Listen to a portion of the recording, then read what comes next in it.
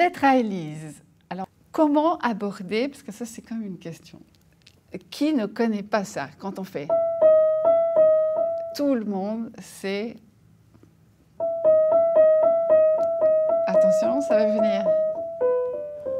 Voilà, bon, on sait ça. Donc, la, difficulté quand on veut jouer une pièce comme celle-ci, c'est d'arriver à se rafraîchir complètement la mémoire, rafraîchir au sens dégager euh, le côté justement si, rengaine, tube, archi connu, et essayer c'est ce que je, voudrais essayer de, vous y aider là. Essayer d'entrer dans, ces, ravissantes euh, pages euh, par une autre porte.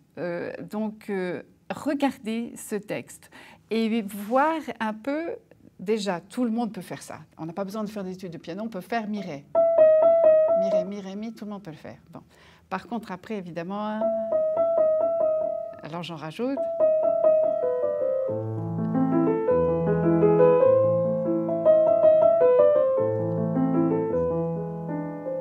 Première chose, très importante, ne pas faire ce que très souvent, euh, quand on voit ça comme une rengaine, qu'on a mal lu sa musique ou que l'édition est mauvaise, plutôt, c'est plutôt ça, n'est pas exacte. Maintenant, avec les autres textes, on arrive à, trouver davantage euh, l'exactitude du, départ du texte, et c'est une septième.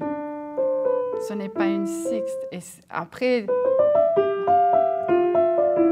on aura encore euh, des, des septièmes qui vont venir. Et bien sûr que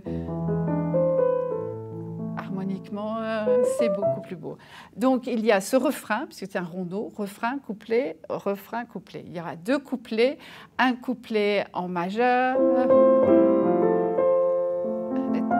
très vocal, cantabilé, et puis euh, euh, même avec une certaine vivacité.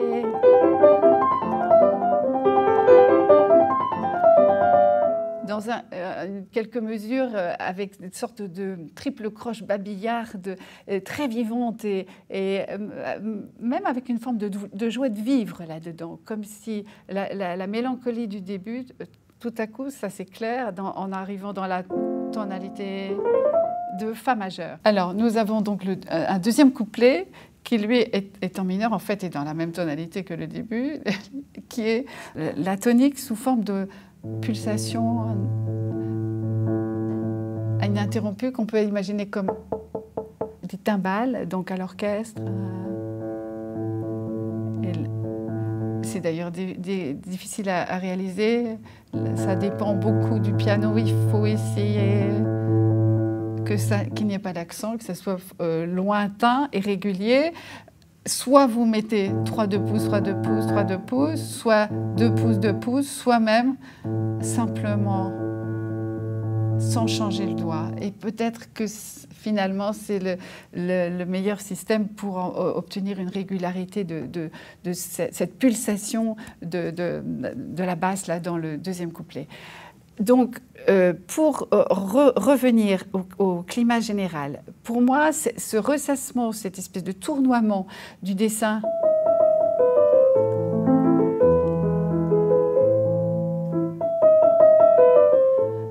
qui, qui, est circulaire, me fait vraiment penser à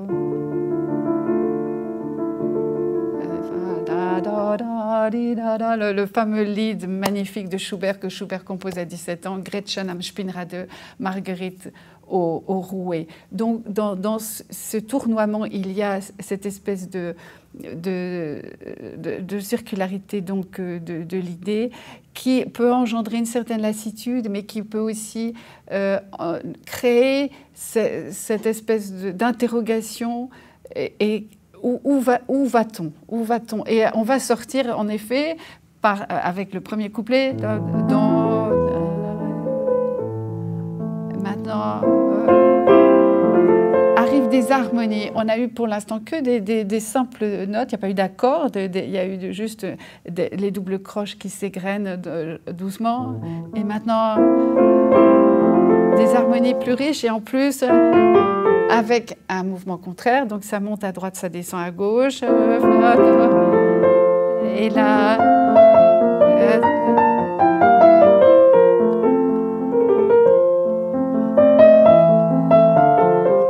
et là.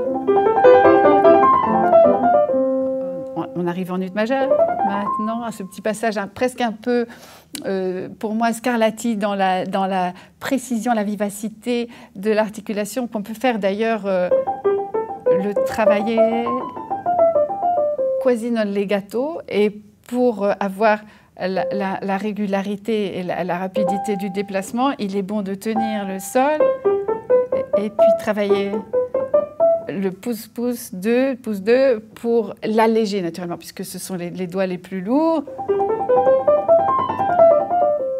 En, éclairant le, petit dessin de cette, descente. Et puis après, on va revenir au début, au fameux Rémi, Ré. Et alors là, dans l'écriture, Beethoven aurait très bien pu écrire Rémi, Rémi, Rémi, Rémi, simplement sur la main droite, en restant sur la même portée. Il, il a pris la peine d'écrire à droite, gauche. Et au fond, moi, je pense que c'est une façon d'écrire une forme de rubato. C'est une hésitation. Le fait que ce soit un petit peu difficile à faire, qui, qui ait cette nécessité d'alternance des mains euh, dans le geste, d'abord, il est joli ce geste, et puis il, il introduit. Ça demande un peu de temps. Donc, il y a ce moment de suspension. Et alors, ce qui est amusant aussi, c'est à propos de ce fameux Redesmi, c'est que il faut, euh, on, risque d'en faire un de trop ou un, ou un de moins, parce qu'après, quand la, main droite revient, on, peut ne plus trop savoir où on est avec le premier temps, où est-ce qu'on était.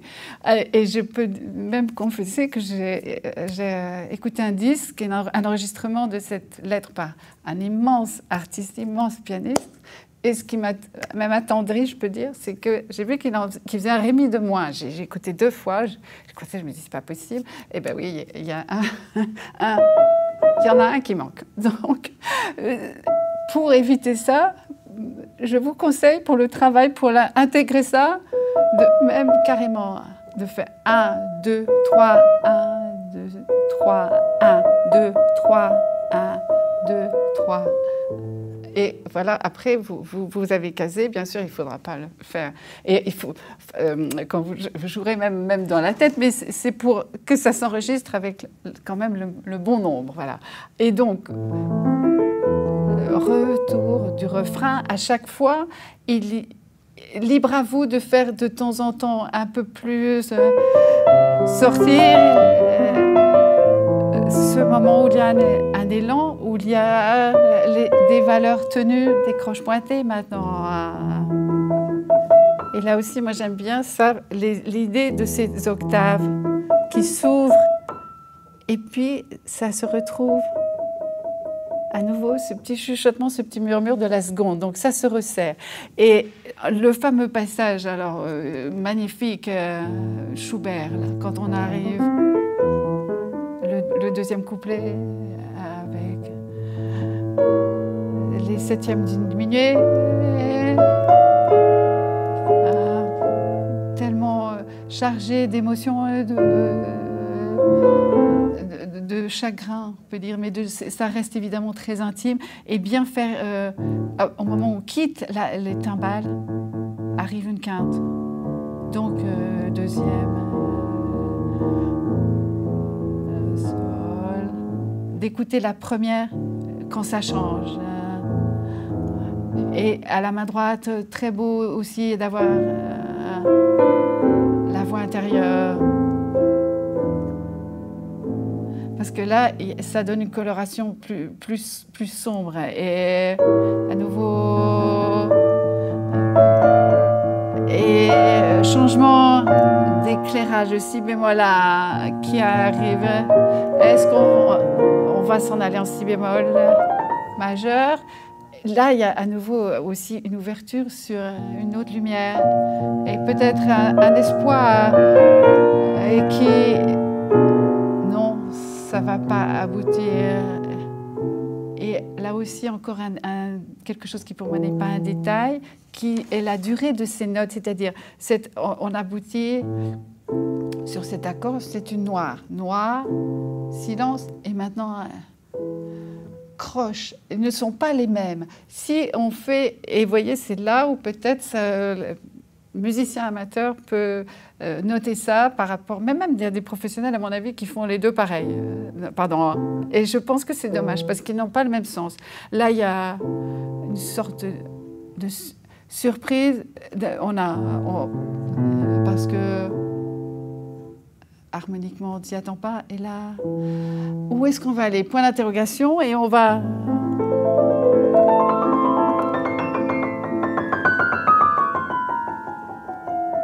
on s'envole comme si après ce passage schoubertien, il y avait une espèce d'espoir, de, libération en quelque sorte, au lieu de revenir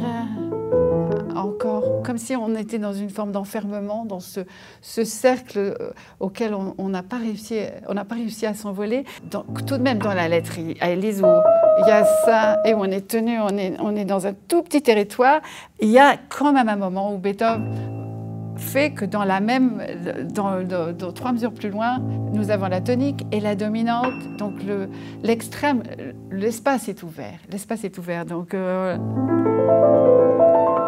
et là pour la pédale aussi, il ne s'agit pas d'annoncer ça, bien sûr. C'est comme une harmonie décomposée, une vibration harmonique. Et puis chromatisme.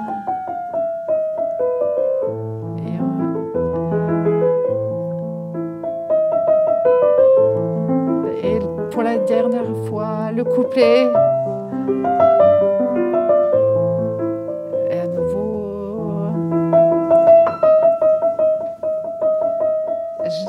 Je ne suis pas sûre d'avoir fait le bon nombre. Et pour s'en aller, il n'a pas. Il n'a pas indiqué de ralenti. Et là aussi, ça ne se termine pas, par exemple, avec une bonne noire pointée avec un point d'orgue. Non, non, on, est soulevé. Donc il faut euh, essayer de faire en sorte que ça s'enfuit, mais quelque part dans l'inachevé, comme dit Rilke aussi. Donc il, aime euh, aussi cette délicatesse, cette concision. Et il y a également aussi chez lui, je suis heureuse d'en parler, cet homme donc n'est pas que concerné par l'Himalaya. Il ne nous laisse pas que des sommets euh, parfois inatteignables, souvent inatteignables, mais de toute façon, il est nécessaire et, vital d'essayer néanmoins de se mettre en route vers les sommets avec lui euh, qui nous soutient, euh, même si on sait qu'on n'arrivera pas. ça ne fait rien, c'est aussi la force et la beauté de la musique. mais il y a cette bonté et cette tendresse aussi chez Beethoven. Il y a le dolce beethovenien, pour moi, est une réalité humaine très, très profonde. Et euh, je suis très touchée, j'ai découvert ça récemment, sur le manuscrit de, cette fameuse euh, Klavierstück für Elise. Il a euh, qui a été composé en 1810, donc quand il a, il a 40 ans, il a déjà composé, bien sûr, une montagne de chefs-d'œuvre. Euh, il vient de composer le 11e Quatuor, l'ouverture d'Egmont, etc. Et il y revient en 1822, alors qu'en janvier 1822, donc à 52 ans, il a composé la sonate opus 111, la dernière sonate, la 32e sonate, qui est alors un voyage métaphysique absolument infini, dont euh, là pour le coup, on, ne peut pas jamais se dire qu'on a, on, peut, et c'est totalement inépuisable. Enfin, c'est un des sommets de, de, de, cadeaux laissés à l'humanité. Il y a de quoi se nourrir euh, indéfiniment avec l'opus 111, évidemment. Euh, et, il est retourné vers cette petite feuille et il a écrit à côté de Pocomoto, l'indication donc du tempo, il a écrit molto grazioso. Et je trouve vraiment extraordinaire de penser que cet homme, après avoir été sur justement de tels sommets, euh, il va se pencher vers euh, dans l'herbe, là, une petite fleur, et il va, il va être attentif, il va dire ah ben ça, ce serait bien, molto grazioso, et il l'écrit sur le manuscrit. Donc ça, ça me touche infiniment. Je trouve qu'il y a une forme de de, de, sens, de, comment dire, de, déjà une forme évidemment d'humanité, lui, Dieu sait qu'il l'a arpenté en long et en large, mais cette attention aussi à des détails, à des, pas simplement, parce qu'on on voit bien cette idée de Beethoven, euh, évidemment tout puissant, euh, mais sauvage, homme de feu, euh, et souvent brouillon, avec en effet l'état de ses manuscrits est, parfois vertigineux de, fièvre, et de, ça n'est pas l'organisation de manuscrits de Jean-Sébastien de, ou de Mozart, mais quand même, il, prend sa plume pour ajouter molto gracioso. Voilà, donc j'étais très touchée de, découvrir ça. Alors j'espère que vous avez maintenant peut-être notre entrée vers Élise et que vous aurez plaisir à l'écouter avec des oreilles fraîches. Elle le mérite.